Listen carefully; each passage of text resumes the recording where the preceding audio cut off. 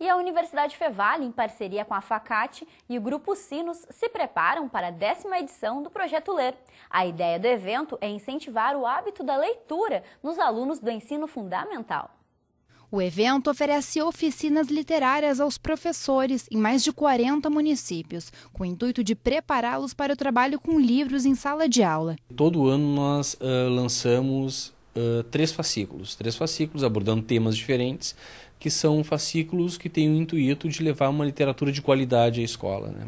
São 40 e tantos municípios, 43 municípios da nossa região da Fevale participantes. O professor destaca que a primeira tiragem começou com 18 mil fascículos. Em 2013, esse número subiu para 150 mil. Em 2011, foram atingidas cerca de 450 mil crianças.